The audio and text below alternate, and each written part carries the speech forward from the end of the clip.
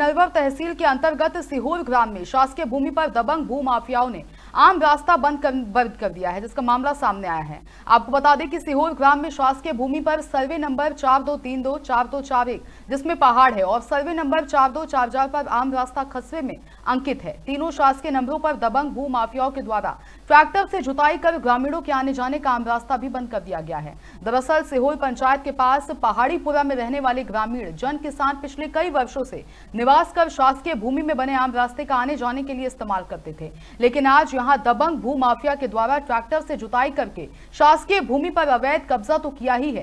साथ ही ग्रामीणों के आने जाने वाला आम रास्ता भी बंद कर दिया है। वहीं अब पीड़ित ग्रामीणों ने आम रास्ता खुलवाने के लिए नरवर तहसीलदार और करेरा एसडीएम से शिकायत कर बंद रास्ते को चालू करने की भी गुहार लगाई।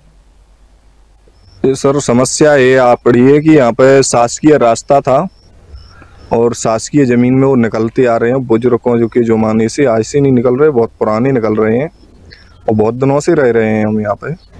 तो वहाँ पर से रास्ता निकला था जो बयालीस सौ चवालीस नंबर है शासकीय शहर का। इसको जगदीश सिंह बलमन सिंह विशाल सिंह और इसको बहादुर सिंह ने इन्होंने जोत के रास्ता बंद कर दिया। शासकीय ज़मीन पड़ी थी जो पहाड़िया इलाके में। उसमें हमारे पशु उसमें पशु चलते थे और पशुओं की निकलने की रास्ता थी। जंगल में नदी में पानी पीने की और हर खेत की जो भी खेती बाड़ी वहीं से निकलती थी।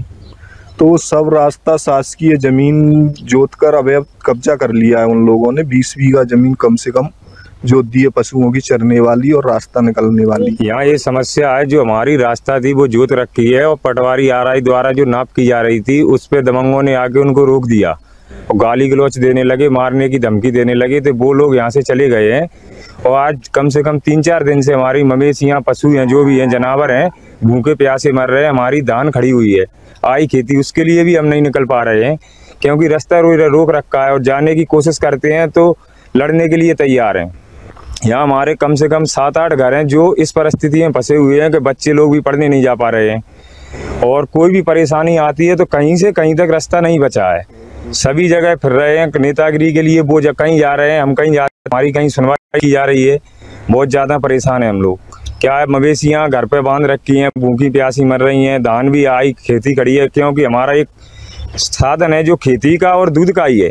उसी से हम अपना खर्चा, पानी जो भी है, सब काम करते हैं। अब सब हमारे जो व्यापार हैं, सब सिस्टम बंद अभी हम लोग बहुत ज़्यादा परेशान चल रहे हैं। बता दें कि शिवपुरी में दबंग भू माफियाओं के द्वारा आम रास्ता बंद कर दिया गया है और इसी पर तमाम जानकारी के साथ शिवपुरी से संवाददाता कमर खान हमारे साथ जुड़ गए हैं। कमर जिस तरीके से देखा जा रहा है कि शासकीय ज़मीन पर भू माफियाओं का कब्जा देखने को मिल रहा है ये पूरा मामला क्या है इसको लेकर एक बार जानकारी चाहिए।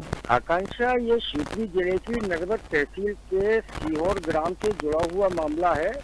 यहाँ शासकीय नंबर है बयालीस बत्तीस और बयालीस इकतालीस जिसमें पहाड़ी जो है क्षेत्र वो खतरे में अंकित है वहीं एक दूसरा सर्वे नंबर है बयालीस सौ चवालीस जिस पर कई पूर्व से आम रास्ता अभी उसमें दस्तावेजों में अंकित है और तीनों नंबरों पर जो है भूमाफियाओं के द्वारा उसको ट्रैक्टर से जुताई करके और रास्ता भी बंद कर दिया गया है और साथ ही जो है शासकीय भूमि पर अतिक्रमण भी किया गया है।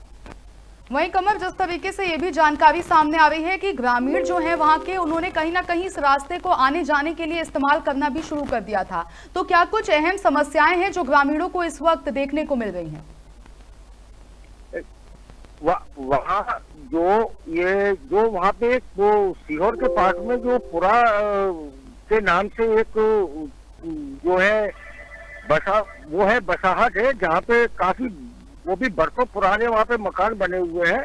और फ़िलहाल की पोजीशन में ये है कि वहाँ मौके पर जब जाकर देखा तो आम जो वहाँ के लोग बाग हैं तो उनको आने जाने के लिए काफ़ी परेशानियों का सामना करना पड़ रहा है।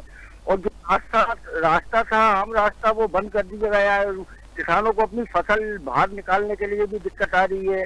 और जो शासकीय भूमि में जो खाली जगह पड़ी हुई थी वहाँ वो लोग अपने जो पशु हैं गाय भैंस हैं उनको चराने के लिए उनका भोजन की व्यवस्था भी वहीं से वो लोग करते थे।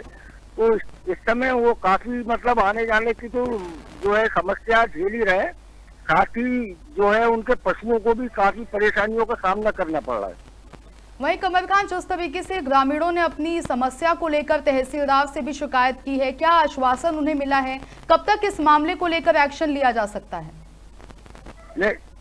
अब अभी नरवर तहसीलदार अमित दुबे से जब बात की गई थी इस सारे मामलों को लेकर तो उनका ये कहना था कि इनका कुछ विवाद है और वो न्यायालय में चल रहा है। लेकिन न्यायालय में विवाद चल रहा है वो एक बात अलग है ये तो शासकीय आम रास्ते की जो है खुलवाने के लिए गुहार ग्रामीण लगा रहे हैं। अब आश्वासन तो दिया गया तहसीलदार के द्वारा। अब देखते ही है कि कब तक ये समस्या का समाधान होता है। ग्रामीणों को आने जाने के लिए कब तक रास्ता मुहैया प्रशासन कराता है।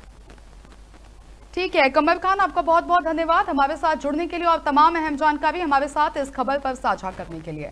तो जिस तरीके से आपने देखा कि शिवपुरी में तीन ब्लॉक ऐसे हैं जहाँ पर भूमाफियाओं के द्वारा कब्जा किया गया है, साथ ही आपको बता दें कि वहाँ के ग्रामीण इन रास्तों को आवागमन के लिए भी इस्तेमाल करते थे और कहीं ना कहीं जब से इस रास्ते को बंद किया गया है, ग्रामीणों में भी रोष देखने को मिल रहा है और नरवर तहसील में भी इसको लेकर अब शिकायत दर्ज करा दी गई है। अब सवाल यहाँ ये उठता है कि आखिर कब प्रशासन इस पर एक्शन लेगा और तहसीलदार पर जो शिकायत की गई है, कब इस पर एक्शन लिया जाएगा और लोगों को कब इस आम रास्ते के लिए सुचारू किया जाएगा और कब उनको इससे राहत मिलेगी?